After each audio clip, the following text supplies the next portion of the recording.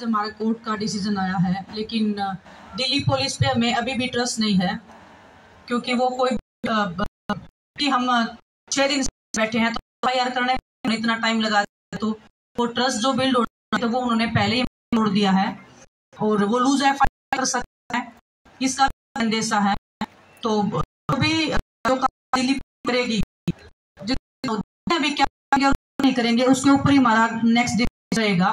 लेकिन हमारा अभी भी यही है कि उनको जेल में डाला जाए। मेरा प्रधानमंत्री जी से नैतिकता के आधार पर एक है कि उन हर एक पद से हटाया जाए जो वो सांसद हैं, चाहे वो रेसलिंग फेडरेशन को संभाल रहे हैं, क्योंकि जब तक वो उस पद पर रहेंगे, वो उस पद का गलत यूज़ करेंगे, जाँच को प्रभावित करेंगे, और हम निष्पक्ष जाँच चाहते हैं।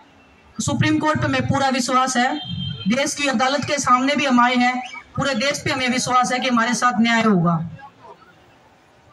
मैंने हमारे समर्थन में ट्वीट किए हैं, क्योंकि मैंने अपील की थी कि अभी एकजुट होने की ज़रूरत जितने भी खिलाड़ियों ने भारत में गेम में दो ओलंपिक गोल्ड हैं तो दो गोल्ड ने खिलाड़ियों के हक में ट्वीट किए कि वो खिलाड़ी समझ हैं।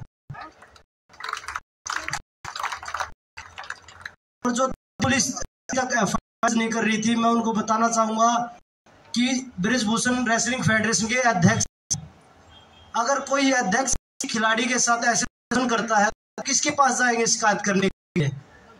तो उनको तो तुरंत में डाल देना अभी।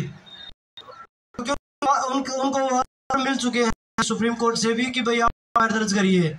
जब ऐसे फेडरेशन के जैसे शोषण करते रहेंगे तो किसके पास शिकायत लेके जाए खिलाड़ी? उनसे बड़ा तो उस फेडरेशन में कोई नहीं तो लगता है कि दिल्ली पुलिस को कड़ी कार्रवाई उनको जेल में डालना चाहिए। जो सभी महिला संगठन हैं, जो भी यहाँ हमारे में अपने में जो हमारे लिए प्रोटेस्ट हैं, उनका बहुत बहुत धन्यवाद। महिलाओं ने गिरफ्तारी है, अपना हाँ पूरे में कश्मीर से कन्याकुमारी तक बहुत महिला संगठनों ने हमारा किया है, समर्थन किया है। गिरफ्तारी है।